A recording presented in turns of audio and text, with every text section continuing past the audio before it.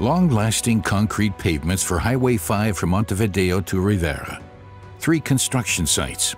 Three Wirtgen slip-form pavers. My name is Eugenia Plotier. I work for the company INCOCI. Hello, my name is Jorge Flores. I'm supervising the concrete paving in this section on behalf of the Berkes Pietroboni Consortium. My name is Sebastian Trujillo, and I operate an SP64.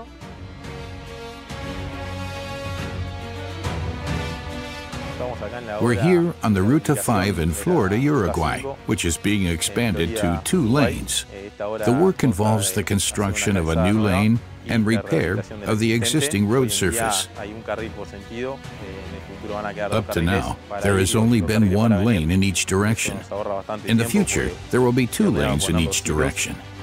Normally, the steel reinforcements are placed on the surface in advance, which would be very time-consuming with this terrain.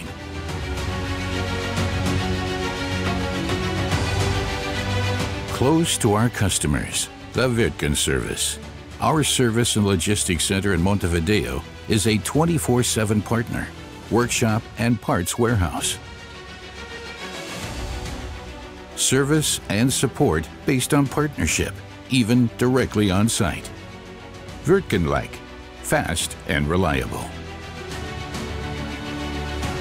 Our SP64 slip-form paver from Wirtgen has a dowel bar inserter and a tie bar inserter. With a DBI, we insert dowel bars over a width of 5 meters.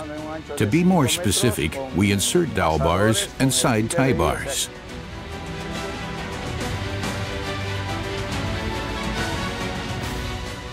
We're also using a 3D system for this project. This makes it easier to operate the machines according to the plans. And the work is more comfortable because there's more room on the site. We've also had good experiences with the 3D system regarding the IRI.